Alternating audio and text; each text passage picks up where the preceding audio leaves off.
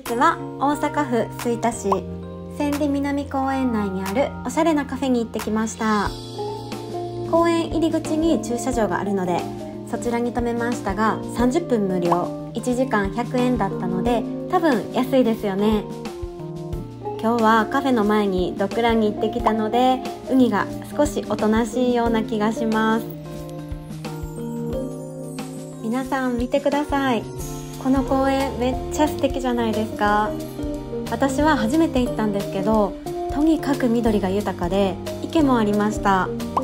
ジョギングコースや健康器具遊具広場があって電車を眺めるスポットもあるらしいです。そしてなんと釣りもできるらしいです。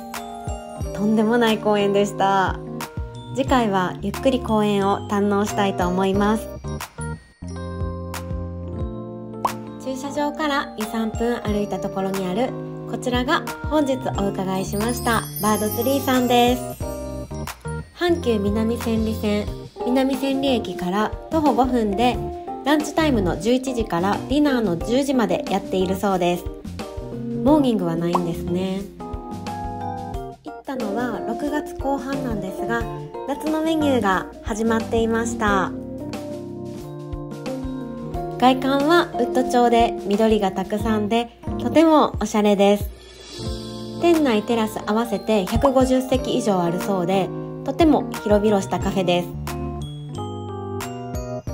こんなおしゃれなカフェが公園の中にあるって結構珍しい気がするんですがどうなんでしょうか？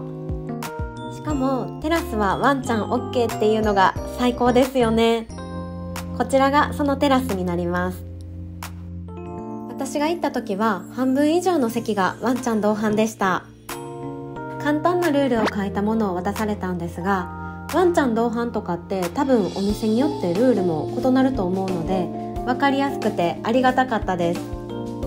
ワンちゃん用のお水も用意されていてワンちゃん同伴に優しいお店だなって思いました。ルールの中に椅子の上も NG とあったので海はずっと床の上だったんですがゴミや食べ物なども落ちていなくて綺麗だったので何の躊躇もなく下にいてもらいました。少し寂しいですけどこれは仕方ないですよね。私のカメラのアングルが謎すぎるんですがここではワンちゃんメニューというのはなくお水のみなので持参したおやつをあげていました。そして人間はというとお昼ご飯をがっつり食べてしまったのでピザを軽くつまむぐらいでした。他にメニューはたくさんあってバーベキューをしている方がとても多かったです。マシュマロとか焼いていてめっちゃ羨ましかったです。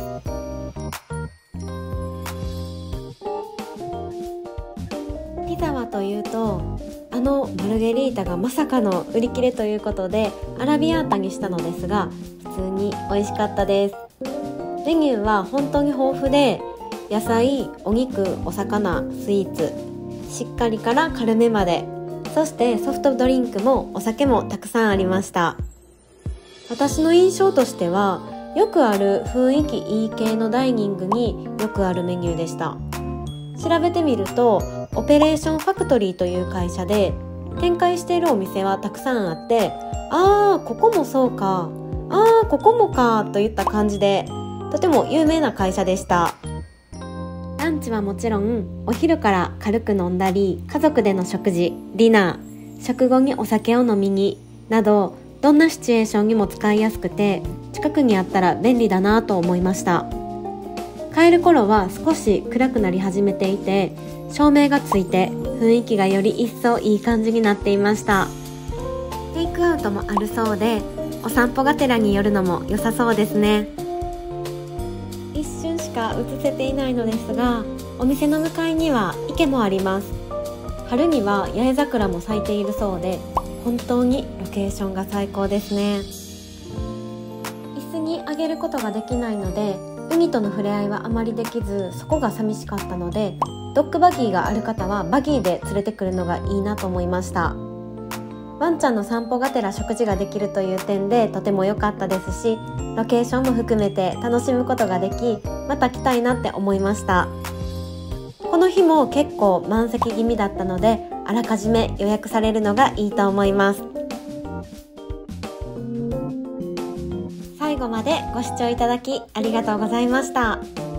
チャンネル登録高評価をしていただけるととても嬉しいです。またお会いしましょう。